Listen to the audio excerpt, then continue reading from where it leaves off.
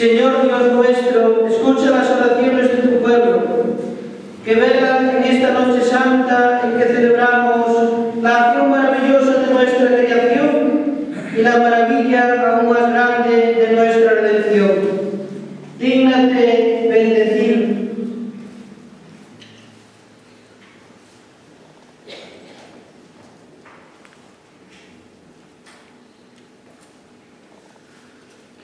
Este agua la creaste para hacer fecunda la tierra y para favorecer nuestros cuerpos con el frescor y la limpieza.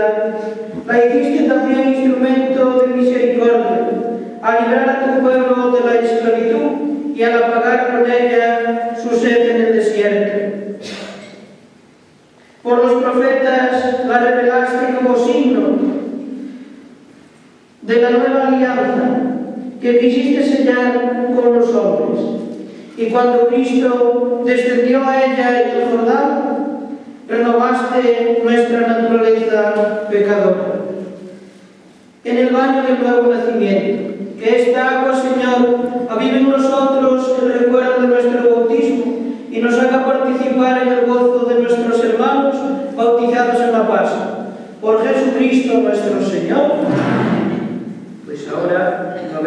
servir a agua, como vos e máis eu, poñemos a intención de que cada unha das botellas que vos tendes quede bendecida, está bendecida pola nosa intención e a nosa fe que é bendice e ao mesmo tempo eu fixen a señal da cruz, viste tres veces cociño, como sellando esa fe, esa intención de cada un de nós para que quede bendecida esa alma.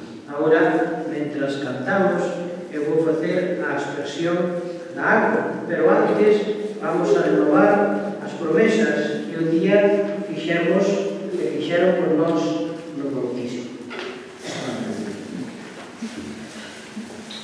Hermanos, por el misterio pascual hemos sido sepultados con Cristo en el bautismo, para que vivamos a una vida nueva. Por tanto, terminado el ejercicio de la cuaresma, renovemos las promesas del santo bautismo, con las que cuatro tiempos renunciamos a Satanás y a sus obras, y prometimos servir fielmente a Dios en la Santa Iglesia Católica.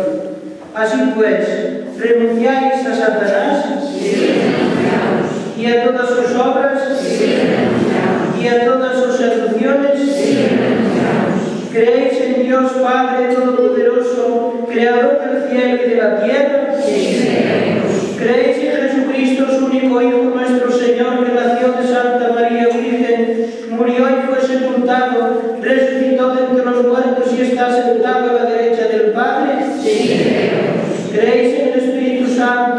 En la Santa Iglesia Católica, en la comunión de los santos, en el perdón de los pecados, en la resurrección de la carne y en la vida eterna?